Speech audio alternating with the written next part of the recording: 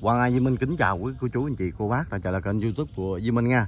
À, Ngay lúc này thì à, Duy Minh đang có mặt ở tại Hoa Viên Nghĩa Trang Bình Dương quý cô chú anh chị ơi. Đây là cái nơi an nghỉ cuối cùng của là Sư Minh Thiện quý cô chú anh chị. Thì hôm trước là Duy Minh cũng à, đến đây ở đây và chia sẻ cũng rất là nhiều video. Hôm nay à, Duy Minh à, đạo lại đây và chia sẻ cho tất cả bà con cô bác cùng xem cái à, ngôi mộ à, mà à, Duy Minh nghĩ rằng là một số bà con cô bác cũng là chưa có biết ha quý cô chú anh chị. Đây à, sư Minh Thiện là một cái vị sư để đi theo hành trình cùng giữa là đoàn của sư à, Minh Tuệ. Sư Minh Tuệ thì à, ba ngày quý cô chú anh chị à, không may là bị à, gọi là sốc nhiệt. À, cho nên là không qua khỏi vào ngày à, à, ngày hình như là ngày 30 tháng 6 hay sao đó quý chú anh chị. Vì mình nhớ là hình như là 30 đó, 30 tháng 6 đó, thì à, à, và được an táng ở đây vào ngày 9 quý cô chú anh chị. Tại vì à, à, đợi à, bên vợ con ở bên nước ngoài về. Đó thì cái câu chuyện rất là cảm động quý cô chú anh chị ơi. Nghe khi mà khi mà gia đình à, đến đây và tâm sự á, thì à, sư minh à, sư minh thiện á, khi mà trước khi đi á, thì về nhà à, một ngày và có khoe là sẽ đi theo hành trình theo là à, sư ờ, Minh Toại quý quý anh chị để học tập tu tập 13 hành đầu đà. Đó, nhưng ờ, không may đã bị sốc nhiệt tại vì cái thời tiết ở bên kia thì nó lạnh mà thời tiết ở ngoài à, Gia Lai ở ngoài đó đó quý cô chú anh chị thì nó rất là um, nói chung là miền à, miền Trung mà nắng nóng nắng và gió quý cô chú anh chị. Cho nên là không không thích nghi ha. Thì đây. Ô sao mà ấy đồ rớt tùm lum hết rồi ta? Đó thì ô. Đấy, cái này vô đây quá trời rồi. Đây nè Ủa nó gớt hết rồi. Con gì đây? Cái con gì khóa sao này cái này để để đây. Để đây tạm tạm tạm để đây đi. Tạm tạm để có ai cúng cúng này không ai cúng này ờ, cái chén này để đây tạm để đây. Để tạm để đây đi Vậy đó anh em mình thắp hương đi. Anh em mình thắp hương đi. Ờ, em thắp hương trước hay gì? Ờ, à, đây cầm cho anh thắp. Mới là anh thắp trước em thắp sau. À, người nào cũng được. Rồi em thắp đi. Ở nay Trần Nam cùng với là Trần Nam TV và à, Phúc Hồ TV đến đây quý cô chú anh chị để là thắp cùng nén hương cho là sư à, Minh Thiện ha. Thì à, câu chuyện của sư Minh Thiện cũng là rất là cảm động quý cô chú anh chị à, sư Minh Thiện đi ra là cũng được sự cũng à, được sự đồng tình và động viên của là à, mà vợ của mình.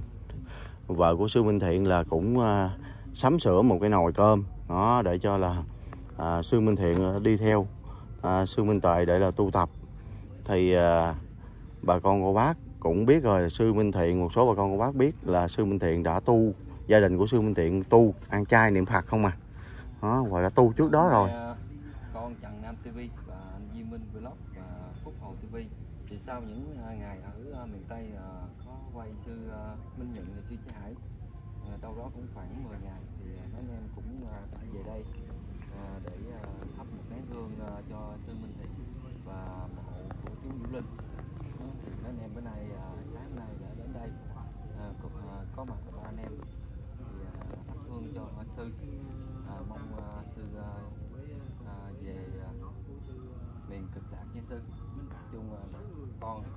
không biết giá gì hết.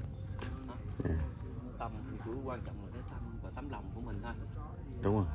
Mình không biết giái mình giái ờ, gọn gọn thôi. Vậy được rồi tới rồi anh ha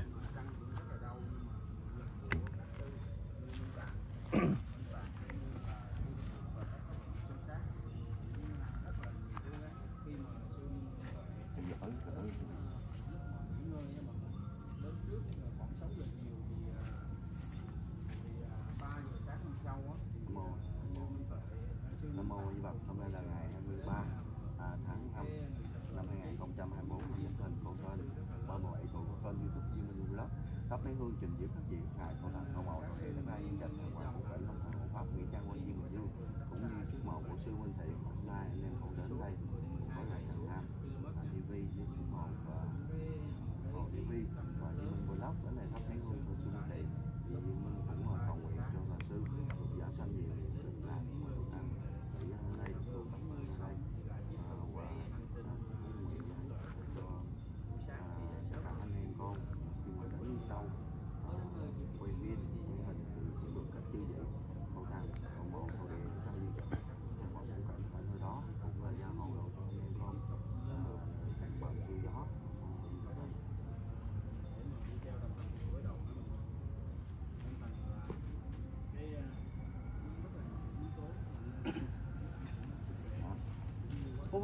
vô thắp thắp nhang luôn kìa. Đây để cầm cho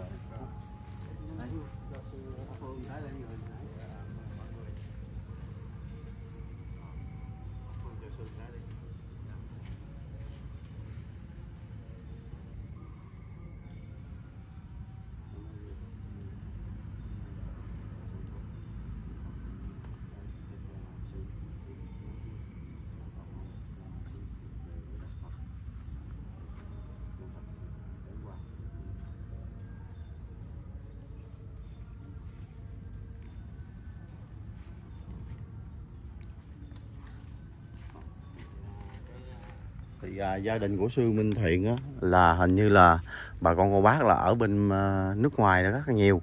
Bên Mỹ rất là nhiều quý cô chú anh chị.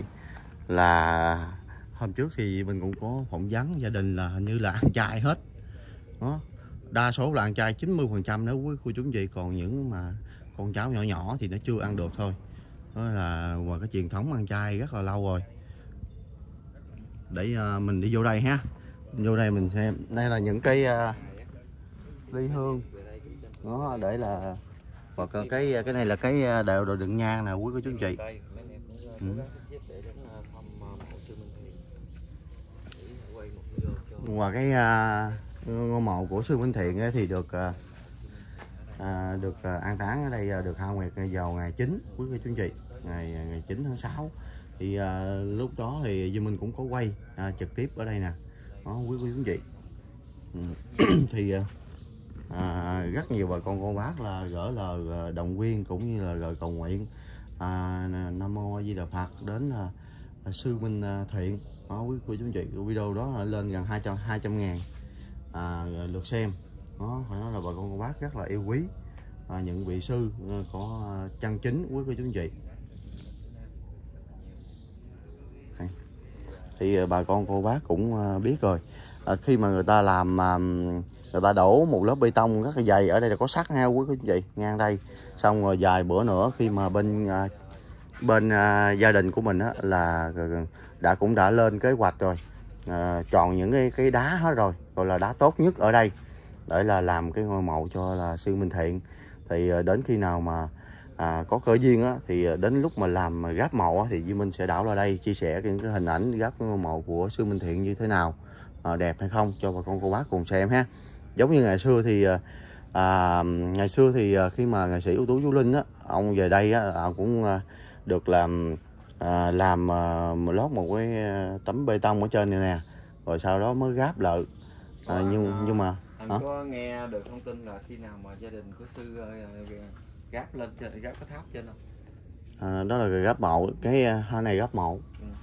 là bữa, bữa đó có hỏi nhưng mà gia đình thì giữ giữ bí mật cũng như là sợ nhiều khi à, tới đó mà không gáp được á Dạ. là, lại à, à, thông tin không chính xác nữa cho nên là sự giữ bí mật kiểu như là lỡ có thay đổi giống là mộ của chú Vũ Linh đó à, cứ thay đổi liên tiếp liên tiếp đến gần 100 ngày mới gấp mộ á ừ. thì bữa đó là đứng đây nè với mấy anh dân phòng á là đã coi mẫu mã hết rồi và lựa lựa chọn đá loại đá tốt nhất đó, đá đá Na Uy á loại đá này đó Na Uy là đó Ừ. chắc là đá sa cừ quá nhưng mà mấy cô với mấy chị thì ờ, vợ của anh ờ, của sư Minh Thiện thì ờ, nói là đá tốt nhất thôi chứ không biết loại đá gì. Ừ, mà nói là đá Na Uy. Ô đá ờ đúng rồi. Cho nên là chắc có thể là đá sa cừ. Theo như mình dự đoán lại gì rồi, đá sa cừ, Na Uy là loại đá tốt tốt và cứng, quý cô chú gì chị Đó thì hôm nay à, Nam cũng đến để chia sẻ à, những cái à, vị sư mà à, Duy Minh cùng với là mấy anh em chia sẻ thì phải nói là những cái la lịch mỗi à, một một cái lịch sử khác nhau. Có người thì từ à, cũng chia sẻ như sư à, à, Minh Không đó sư chia sẻ thật tình luôn. À, sư là một người từ ở dưới Dũng Sình à, một Dũng Sình đi ra quý anh chị. Nhưng mà phải biết cách buông bỏ và cho thoát khỏi cái Dũng Sình đó. Thì nghe rất là xúc động luôn quý cô chú anh chị cho dù là cái à, lai lịch và cái tiểu sử của mình ngày trước có xấu xấu như thế nào nhưng mà khi sư đã quyết định buông bỏ và làm lại cuộc đời và đi theo con đường chân chánh à, những cái lời à, những cái à, lời của Đức Phật giảng dạy thì sư đã bỏ hết. Quý cô chú anh đó là một cái phải nói là một cái hình tượng đáng khen à, khi mà à, đã sai mà mình bỏ buông buông bỏ hết những cái sai của mình để là tìm đến con đường chân chánh thì chứ mình nghĩ rằng là một ngày nào đó sư minh à, không sẽ à, đạt được những cái thành tựu, những cái à, ước nguyện của mình ha. Đó, còn sư trí thiện sư minh thiện thì bà con cô bác biết rồi, cũng rất là cái duyên khi mà đi được có nhiều bà con cô bác cũng nói là rất là tốt luôn. Khi mà đi chung với là sư trong đoàn của sư minh tuệ thì đã ra đi thì trong cái thời gian đó thì cũng được à, các sư cũng cầu nguyện để cho là được cái siêu thoát giảng sanh về miền cực lạc quý cô chú anh chị. À, thì à, à, video đến đây thì Di Minh cũng à, gửi lời cảm ơn đến tất cả bà con cô bác càng xa trong và ngoài nước đang xem trên màn hình nhỏ của Di Minh ha. Chúc cho bà con cô bác thật là nhiều sức khỏe dạng sự bình an ha. Thì Di Minh cũng vừa bên mẫu của chú Du Linh đi qua Di Minh chưa đăng clip luôn á. Đó, thì mong bà con cô bác xem video nhớ để lại like và đăng ký ủng hộ kênh Di Minh mình Minh chân thành cảm ơn bà con, cô bác rất là nhiều. Giờ Di mình xin chào bà con, hẹn bà con, cô bác là một cái video tiếp theo.